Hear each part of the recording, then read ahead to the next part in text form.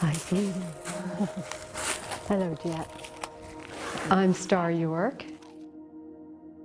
This is um, my studio and my home on our ranch that is just south of Abiquiu, a little area called Tierra Azul. I'm a sculptor.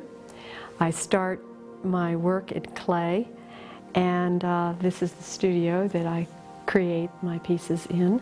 I want to try to accomplish something that really expresses the essence of a piece or the essence of a creature, the essence of an individual.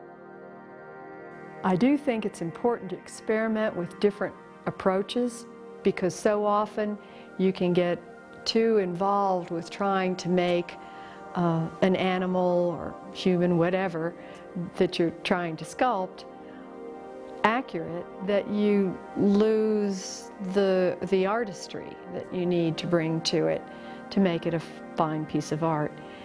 Um, I don't think it's ever a good idea to sacrifice artistry for accuracy.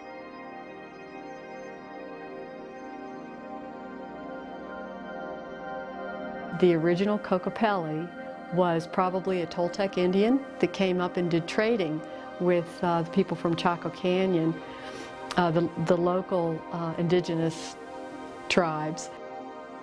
My guess was that he was probably um, quite appealing to the ladies, charming. So that's why I um, had fun creating the character. The horse design, again, is very similar to um, designs done by uh, North American Indians, particularly in the Northwest, on teepees and on buffalo robes. But um, the designs within, the tattoos within, are um, from a lot of the research that I did in, um, in New Zealand with uh, the Maori. This piece is a piece that, um, one of the pieces that came out of my month-long study in New Zealand of the Maori culture. And um, it's of a, a, a, chief who has a full face tattoo.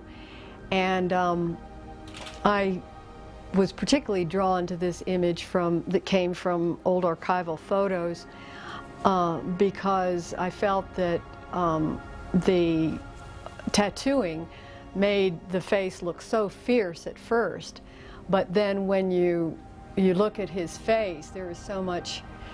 When you look beyond the tattoos, there is so much um, dignity and um, and I think uh, even an element of, of kindness in his eyes.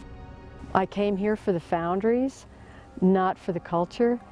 But what I found was this incredible um, source of inspiration in the varying cultures and in the, whether it was Indian, Hispanic, or, or even the, the ranchers.